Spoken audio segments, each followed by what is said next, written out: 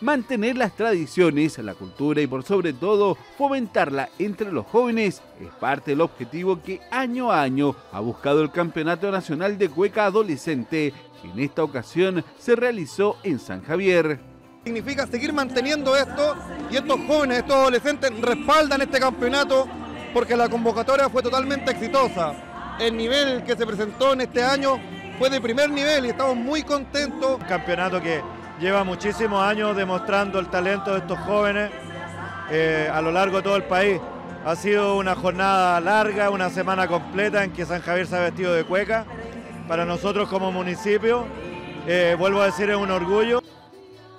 A su vigésima primera versión llegaron las 16 parejas campeonas regionales, las que durante cinco días recorrieron la comuna mostrando su compromiso por cultivar el baile nacional. Así que yo creo que es una tarea de nosotros los adultos poder cultivar nuestro baile nacional en todo, por los pequeños, desde, desde chiquititos. Bien, bien, bien, porque aquí tenemos muchos muchachos que hacen harto a la cueca acá y la otra vez fui a Paine a, participar también con el grupo de acá a verlo. También muy lindo.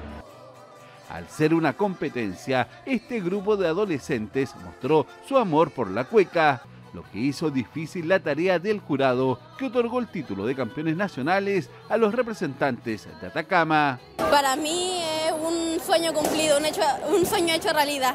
He estado un año y medio trabajando con mi guaso, eh, trabajando muy duro con alto y bajo, eh, con lloradas, con alegría y la verdad estoy muy emocionada y muy contenta de este logro. Feliz, es un sueño, como dijo mi compañera acá, un sueño hecho realidad. trabajamos mucho por este trofeo y es bacán tenerlo porque después de tantos sacrificios se logra conseguir las cosas.